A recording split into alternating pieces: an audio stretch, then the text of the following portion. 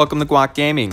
Guac King here to go over 10 things that players who are new to Red Dead Online need to know, including information about weapons for beginners, some settings, saddles, and some other quality of life improvements. If you go on to like this video, drop me a like and subscribe as that really helps grow the channel. Alright, this list is in no particular order, but number one, let's talk about weapons. The first thing that new players don't realize is the Cattleman and Carbine Repeater actually aren't that bad players typically want to get away from these guns as fast as possible, which makes sense because they're the most basic guns. But if you upgrade them, they can actually be pretty competitive in PvE and PvP. So it's good to hang on to them until you've saved up enough money to buy a good gun. One of the first guns you should consider getting though is the Lowry's revolver. The Lowry revolver is a Navy revolver variant. You have to have access to GTA Online and you have to complete the serial killer content on GTA, which I have a guide for. I'll leave a link for that in the description below. But once you find the serial killer in GTA Online, you'll get the Lowry revolver on Red Dead Online for free. And the Navy revolver is one of the best sidearms in the game. So to get one for free at a level 1 is a huge advantage. Now if you don't have access to GTA Online, the Navy revolver and the LeMat are both good revolvers to save up for. The bolt action rifle, which unlocks way sooner than the Springfield, is in my opinion way better than the Springfield. So that's an easy grab. And as far as repeaters go, you can make a case for a lot of them,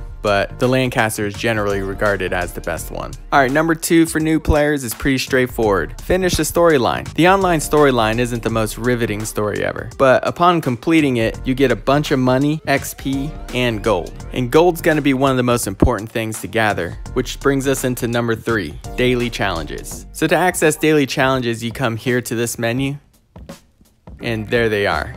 They're not worth a ton of gold, but on any typical day, some of these challenges are pretty easy to complete, so you may as well take a look at these. And if you get on every day, you could start building a streak. The streak will automatically reset after 28 days, but if you happen to play daily, then you might as well do it, because it's a good source of gold. Now between daily challenges and the storyline missions, you should easily be able to afford your first role, which brings us to number 4. What first role should you get? Now this is going to largely depend on your actual playstyle and what you're looking for in the game, but our recommendation for a first role is the bounty hunter role. Now the reason we picked the bounty hunter role is because it's the only role so far in the game that can actually pay you your gold back. Every bounty you do generates gold, and then you also have access to at least the first level of legendary bounties by getting the first pass of the bounty hunter role. Not only that, but it's actually pretty fun. Gets you all around the map completing bounties. You'll go from town to town and really get a feel of the entire map as you bring bounties in. So that's our recommendation, but if you're not into bounties and you don't necessarily care about the gold,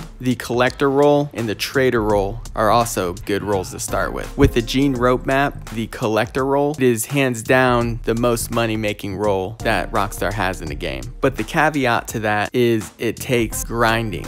So if you're into using the Jean Ropke map and running through the map day in and day out, collecting collectibles, you can make a ton of money. Um, but if you're like me, then you'll find that to be extremely boring. So that's where the trader role comes in. If you like hunting and you like the idea of upgrading your camp, then the trader role is the way to go. Or even if you like PvP, the trader role will be generating money while you're doing whatever else you're doing in the game. Not as much money as the collector, but it's working in the background. So for us, we recommend the bounty hunter first and then the trader role second. All right, number five is a quick quality of life improvement, and that's buying things from the catalog. So if you hold down the buy button, you'll buy in bulk, and this works great with ammunition and arrows, but it really works for everything that you might be using. If you've got the money to spend and just max out your quantities with all these different ammo types, then you don't have to go find a gun store to buy ammo. You could just go to your lockbox at your camp or any post office around the map, collect your mail, and it'll automatically refill you on all of your ammo types. So don't just go to a gunsmith and buy only what you need. Go ahead and buy it in bulk, and then you could just refill at any post office. All right, number six will save you some time. The Nacogdoches saddle is the best saddle. It seems like a saddle where you weren't supposed to be able to upgrade your stirrups, but since you could get the max level stirrups, in conjunction with what the saddle already offers, and you end up with the highest stats you can get from any other combination of stirrups and saddles. It is really OP. It's not the coolest looking saddle, but it absolutely is the best saddle in the game. So I wouldn't even bother with any of these other ones. The next tip is crafting big game meat. Now you could get big game meat from panthers, cougars, bears, wolves, and alligators. And alligators being the key one there. So if you just head into Lemoyne and just basically farm alligators, you can collect all the big game meat you need. And then also all around the map, you can find mint, thyme, and oregano. And if you cook seasoned big game meat with mint, thyme, and oregano, then you can get a level 4 health core, deadeye core, and stamina core, respectively. And this is just really helpful when traveling around the map and the level 4 health you get from mint can be particularly helpful if you run into griefers. So don't sleep on big game meat. Alright, number 8, ability cards. You want to get these to level 3 as fast as possible because they don't do much in their early levels. But just throwing on some basic ability cards to buff your Deadeye, health and defense can be really effective. I've seen people forget to equip these and you're just missing out on buffs if you do. So take a look at the ability cards and as you unlock slots, don't leave them open. And they're especially helpful in PvP.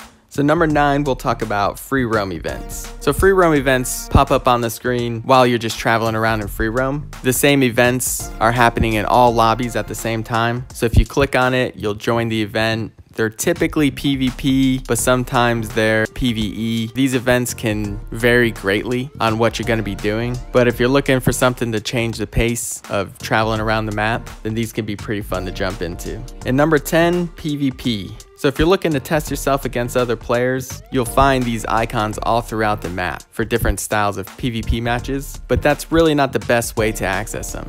To access PvP the easy way is you go here in the menu, go down to PvP, and then you could specifically select what you want to jump into. So you've got races, which are just that, horse races. Takeover series, which are objective-based team games, where you're trying to blow up the enemy's base or take over an area. Shootout series, which are more straightforward, which can be team-based or free-for-all, but it's mostly just killing people to get points. And then elimination series, which are almost all free-for-alls, where you only get one life so once you die, you're spectating until the match is over.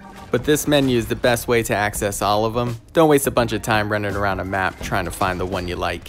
Okay, that's our 10 tips for new players. If you thought this guide was helpful, drop me a like and subscribe for more Red Dead Online content. Next time you bring the chips, because I got the guac.